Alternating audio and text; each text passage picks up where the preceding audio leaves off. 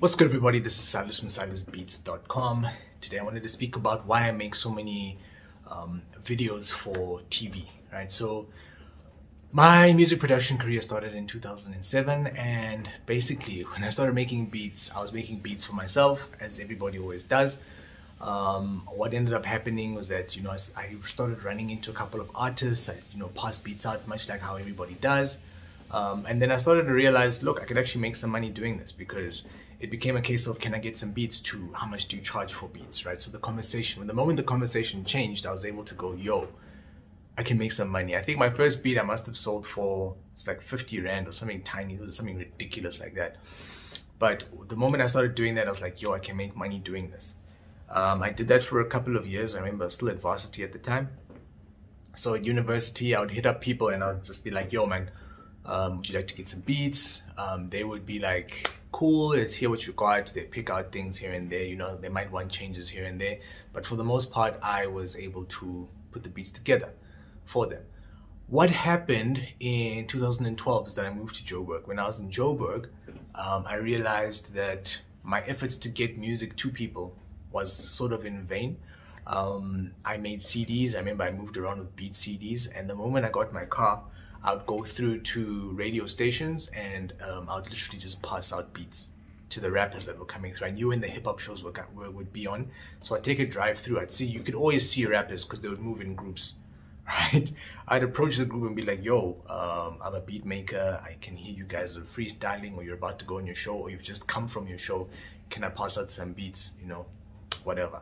I'd pass them out, you know, I might, people might hit me up, whatever it is, but that was basically what I was doing. I realized that that was not sustainable, just that I wasn't getting, for the amount of work, the amount of leg work I was putting in, I wasn't getting the, um, I wasn't seeing my return on investment in all of that that I was doing. So um, I remember being in the studio with um, uh, Justin J. Lawless, and we were talking about different ways, different revenues and whatnot. And I'd actually asked him whether he'd gotten his stuff placed somewhere and he had told me that there was another producer who was getting quite a bit of their stuff placed on TV, and I was like, man, that would actually be pretty epic. Um, I remember I was a big FIFA fan at the time, and I, had, I remember switching on, I forgot which FIFA it was, but I remember seeing Locnville. They had Sun in My Pocket on a track, and I was like, man, this would be a massive payday. Why not try and do something along these lines? So I started hitting different people up. I hit up camera crews, I hit up. Um, a couple of people, right? And they kind of led me all to Norm, which is now known as Capasso. I went to the offices in Randburg. I remember dragging Justin along with me and we spoke to the guys and they were like, look, these are all the different publishers we know. Hit them up, see what they can do for you. So started, I started sending emails out to these people saying, yo, we've got music. This, this is the type of work we've done. We want to do more stuff. We can send you stuff so you can listen to and we started sending stuff through. Some of them were happy with it, others were like, we don't really want it. Others were just not taking any new people.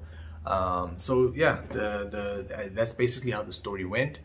Um, some time went by and we weren't really convinced um, that this was the way to go for us.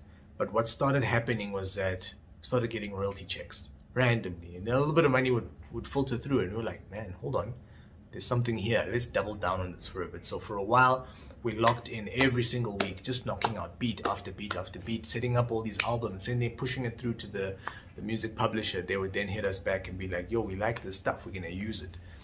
Um, I remember we got our music in, um, in an Adidas advert and that actually had an upfront payment. And we were like, man, there's money here, right? Wasn't a hang of a lot. I think we got 3K each um, up front and then over and above that, there was a couple of other opportunities that we um, that we got, right? And then obviously the royalties at the end of the day. So there was quite a bit of cash there in that um, we didn't really expect anything from it. But from there we started to build. What we started to realize is as the years went by, people started to understand our music more and actually want it more, right? And as the years went by, the amount of revenue we got became more and more and more, rightly so we had to share it between the music publisher, him and I. Um, and he and I would get would share the producer's portion. So it ended up being quite a little. Um, since then, I've kind of delved into it a bit more myself.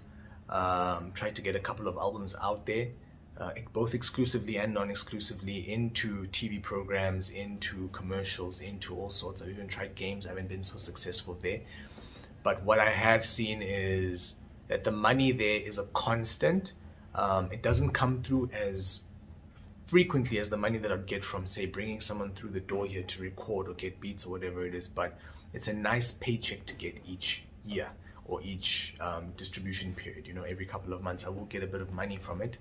The reason why I do it so much is because I know in the long run, this is going to be a lot more um, self-serving. It's going to be the return on investment is definitely going to be a lot longer because for a track that are, there's tracks that I made in 2013, 14, 15 that are only being placed now in 2022.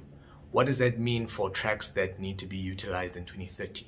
Right? They might be going to stuff that I made a good you know 10 15 years ago prior to that time so the beats that i'm making now as much as i might feel like they might not fit they might only be used in 10 years time and i'm okay with that. All it means is that i'm investing for the future. I'm just making majorly majorly majorly long-term investments for the future which i'm okay with. So um, that's the majority of the reason behind it.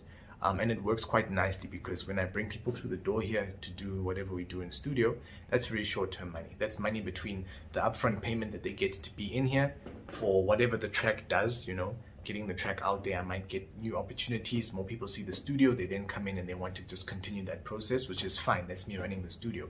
But over and above that, I get that mid to long-term income in that um, I now have royalties that I'm generating. And that money is a lot long, lot more long-term, but it's a lot more solid yeah so if you have any questions about you know getting your music on to tv getting it into you know to different music publishers whether it be your commercial um, you know whether it be for commercial music or library music whether it be in SA, whether it be based abroad these are all things that i mean I, we can we can start a conversation you know hit me up let me know in the comments if there's any and if you have any questions with regards to this and i'm happy to to answer you can also reach out to me in whatsapp um, links to get a hold of me everything's in the description uh, let me know and let's keep the conversation going. Peace.